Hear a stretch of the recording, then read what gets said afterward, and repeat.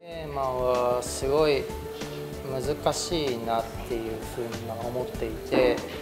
まあ、かなり制作している中で